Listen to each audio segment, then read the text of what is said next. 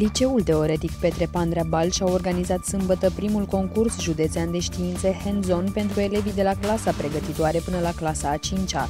Concursul a adus la oaltă fenomene din fizică, soluții din chimie, vietăți din biologie, iar echipele de elevi au verificat stări de încălzire, s-au jucat cu amestecuri de culori, au observat, au măsurat lungimi, volume, temperaturi și au cronometrat timp.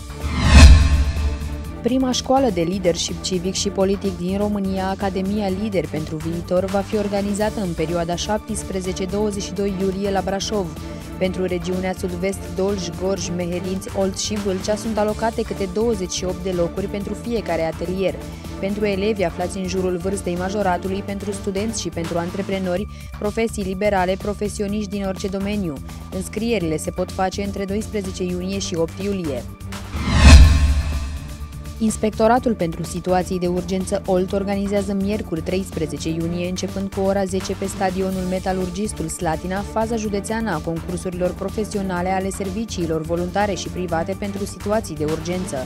Echipajele participante își vor demonstra abilitățile la probele, ștafetă 4 ori 100 de metri, pista de îndemânare și viteză și dispozitivul de intervenție. Șomerii, dar și persoanele cu serviciu aflate în căutarea unui alt loc de muncă au astăzi la dispoziție o ofertă prin intermediul Agenției Județene pentru Ocuparea Forței de Muncă OLT de 321 de joburi vacante.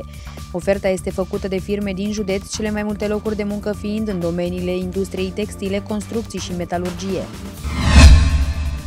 Iubitorii filmelor pe marele ecran au astăzi după amiază o ofertă de șase proiecții la cinematograful Slătinean din incinta Centrului Cultural Eugen Ionescu.